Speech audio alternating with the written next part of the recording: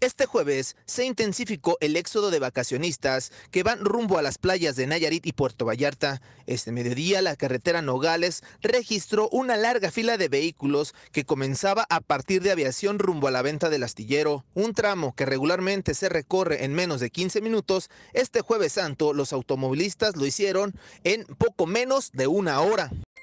De hecho nosotros vamos a, a Hualulco, este, pero pues es la única salida que nos queda ahorita y pues el tráfico, este, pues yo lo veo normal porque pues mucha gente ya empieza a salir de, de trabajar o les dieron el día de hoy y pues empiezan a agarrar para, para salir a Vallarta, ¿no? O alguna salida para vacacionar. Pero pesadísimo, ¿no? Sí, no, claro, pues ahorita nos aventamos de ahí de, de la Comisión Forestal unos 30 minutos, 45 más o menos.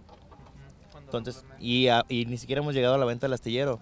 Es una distancia de 15 minutos, a lo mucho. Empezó como un poquito después de pasando el periférico, pero pues ya nos habíamos hecho la, la mentalidad de que íbamos a tardar mucho para llegar. Sí, está pues a vuelta de rueda, literal, 5 kilómetros por hora. Los automovilistas hicieron una parada en una estación de gasolina y un mini super para abastecer de combustible y de los víveres que servirán para aminorar el apetito mientras llegan a su destino. Sí, vamos preparados ya, la camioneta arreglada y todo para ir con más seguridad. Vamos a, a Vallarta a estar un rato a descansar, primero Dios. Ya, pues ese es el entremés, dice ahorita uno, para aguantar y llegar bien. Román Ortega, Mega Noticias.